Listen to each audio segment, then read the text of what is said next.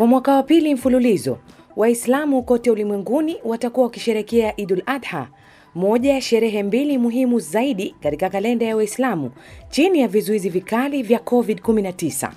Hii ni baada ya kukamilika kwa ibada ya Kiislamu ya kila mwaka ya Hija katika mji wa Makka nchini Saudi Arabia. Ikijulikana kama sikukuu ya kuchinja, Idul Adha huadhimishwa tarehe kumi ya mwezi wa 12 kwenye kalenda ya Kiislamu kukumbuka historia ya kidini ya Nabii Ibrahim.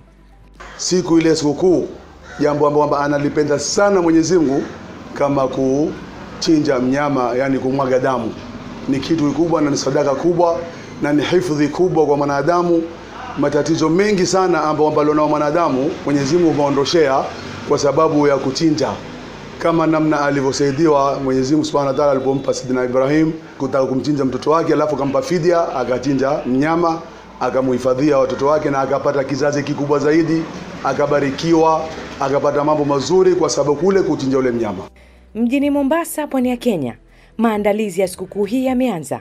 Katika soko la mifugo la Kikoani, shughuli za kawaida zinaendelea huku wateja wakiendelea kujitokeza kununua mbuzi kwa ajili ya kuchinja wakati wa Eid. Huu ni msimu wa kuvuna kwa wafugaji hawa wa wanyama na baadhi ya vijana waliojipatia kibarua cha muda hapa.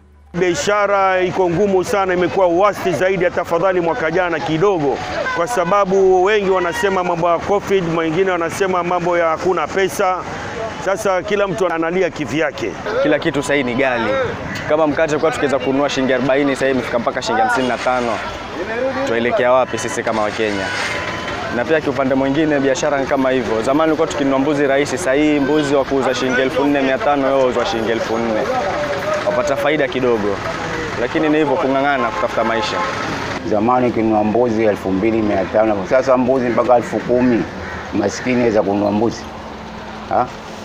Sasa wale ninazo, mtu anunua mbuzi, atakanunua mbuzi watano, anazo zanunua.